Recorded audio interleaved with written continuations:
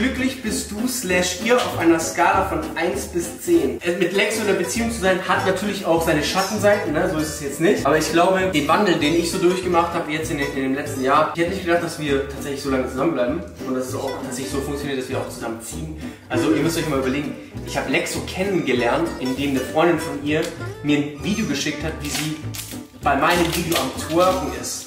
So, das war so das Ding, wie wir uns kennengelernt haben. Ich dachte so, ja, okay, die wird halt mal das ein oder andere Mal. Und jetzt bin ich einfach mit dir zusammengezogen. Also, es ist wirklich, ich weiß nicht, was du da mit mir gemacht hast, aber da passt irgendwas nicht. Also, lass es bitte in Zukunft.